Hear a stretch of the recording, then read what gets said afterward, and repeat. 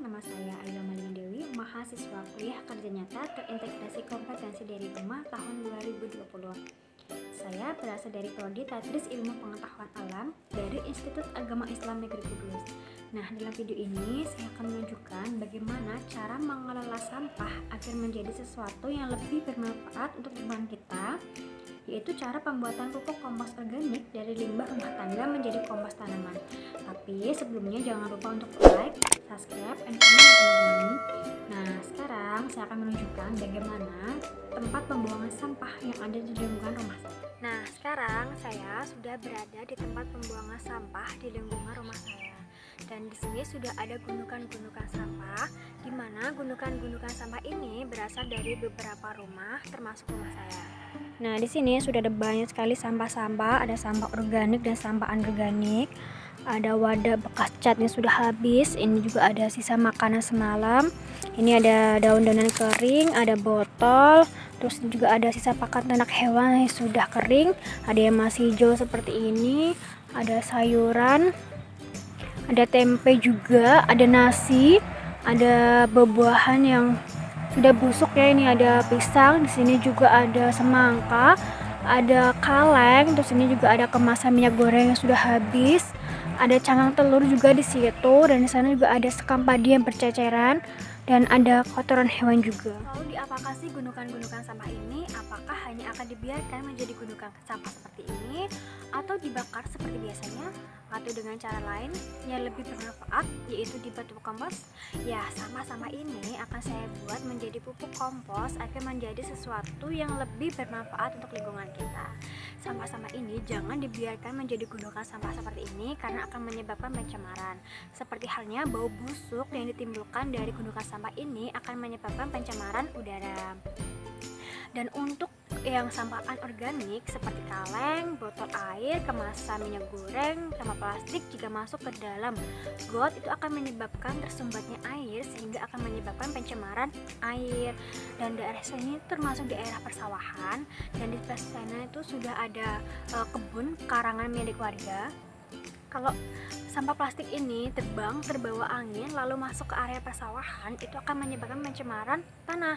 Karena sampah plastik itu sangat suka diurai oleh mikroorganisme sehingga akan mengganggu kehidupan organisme di dalam tanah. Dan racun-racun dari partikel-partikel sampah plastik yang masuk ke dalam tanah itu akan membunuh hewan pengurai di dalam tanah seperti halnya cacing Sedangkan jika sampah-sampah ini dibakar itu juga akan menimbulkan pencemaran lagi yaitu pencemaran udara yang berupa asap dari pembakaran sampah ini.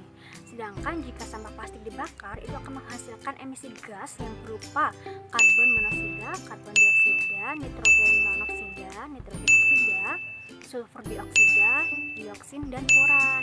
Sedangkan bahaya pembakaran sampah untuk kesehatan kita yaitu akan menyebabkan penyakit kronis seperti halnya bronkitis, emfisema, dan kanker. Sedangkan bahaya untuk lingkungan kita yaitu akan menimbulkan efek rumah kaca, pelapisan-lapisan ozon, hujan asam, dan global warming. Dan sebenarnya daun-daunan dan rumput-rumputan ini itu mengandung unsur hara yang apabila dia diuraikan itu akan diserap kembali oleh tanaman sehingga akan menyuburkan tanaman dan memperbaiki struktur tanah. Tapi jika rumput-rumputan ini dibakar, itu akan menghilangkan unsur hara di dalamnya.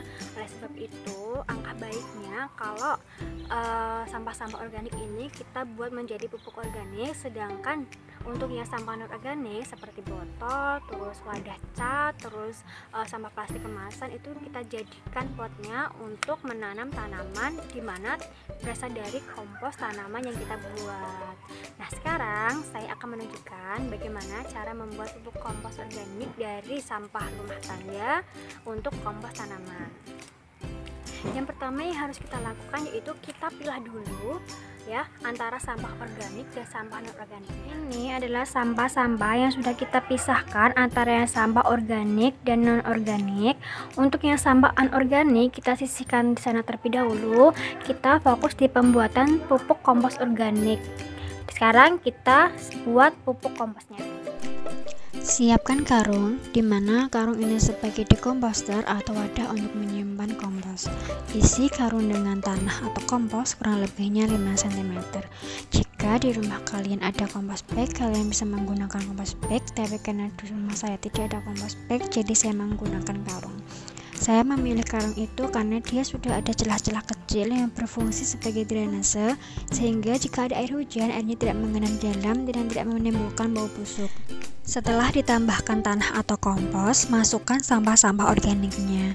Jika sampah organiknya berukuran besar, bisa dicincang menjadi lebih kecil lagi agar mudah terurai.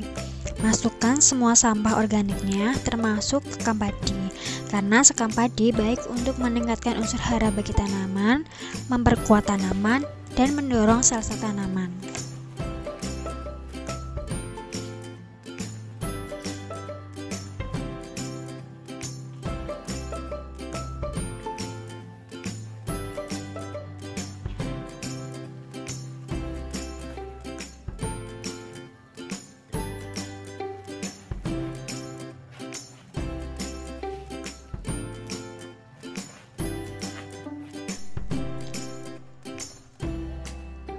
Setelah itu, tambahkan tanah atau kompos lagi. Kalau ada kompos ya, karena kompos mengandung mikroorganisme yang dapat membantu mempercepat penguraian. Tambahkan tanah atau kompos kurang lebihnya 5 cm seperti tadi.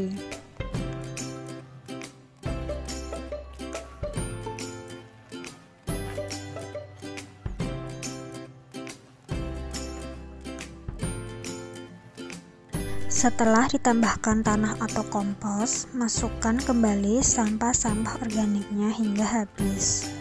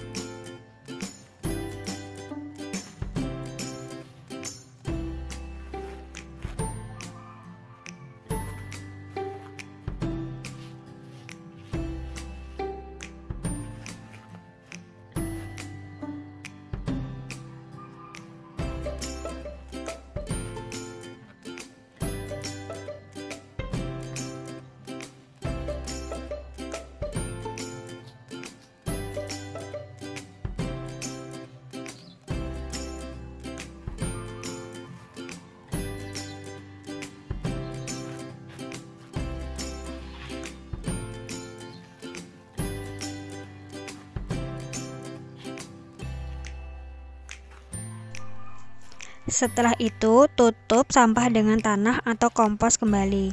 Tujuan ditambahkannya tanah karena tanah mengandung organisme. Dia berfungsi mengurai bahan-bahan organik. Selain itu, tanah juga berfungsi untuk menyerap bahan-bahan organik yang mengandung air. Jadi, nanti airnya akan diserap oleh tanah. Tutup sampah organik dengan tanah hingga merata, kira-kira 5 cm. Setelah itu, tutup pupuk komposnya. Bisa ditutup dengan biasa atau ditali. Kalau saya akan saya tali.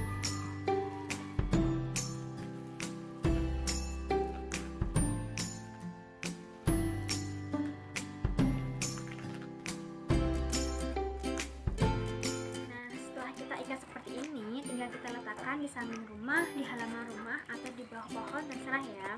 Dan sistem yang saya gunakan di sini tidak menggunakan bantuan mikroorganisme lain atau fermentasi lain untuk mempercepat penguraian, semuanya terjadi secara alami.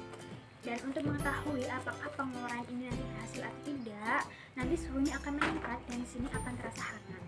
Dan karena semuanya terjadi secara alami, jadi ini nanti akan membutuhkan waktu yang cukup lama, yaitu sekitar 1 hingga 2 bulan agar penguraian ini terjadi secara sempurna. Dan jika beberapa hari ke depan kalian mempunyai sampah organik lagi kalian tinggal memasukkan lagi dengan cara yang seperti tadi nah itu tadi cara bagaimana mengolah sampah organik dan sampah anorganik dari limbah rumah tangga yang ada di lingkungan kita dan video ini bisa dijadikan sumber belajar untuk IPA SMP kelas 7 KD 3.8 materi pencemaran lingkungan Mari selamatkan lingkungan kita, maka bumi akan menjaga kita. Hal ini bisa dimulai dari diri kita dan keluarga. Cukup sekian dari saya. Wassalamualaikum warahmatullahi wabarakatuh.